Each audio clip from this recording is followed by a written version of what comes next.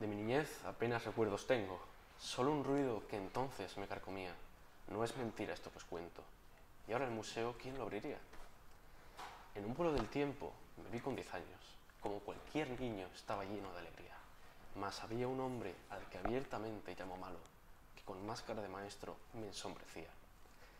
Con el inicio de la adolescencia, el amor encuentro nunca fue correspondido, pero no me entristecía. Dos años por esta tormenta me vi envuelto, hasta que, tras reflexionar como sabio, saqué que con amistad lo confundía. Pero mi final en este viaje tan extraño llegó de forma pronta, y quejarme no debería. Me embaucó su belleza, cual sirena con su canto. ¿Quién iba a decirme que tan prendado quedaría?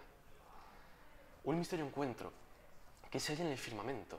Tampoco sé cuán lejos está, pero diría que el final del camino no ansío ni espero, mas si ha de llegar no temo, tampoco me pondría.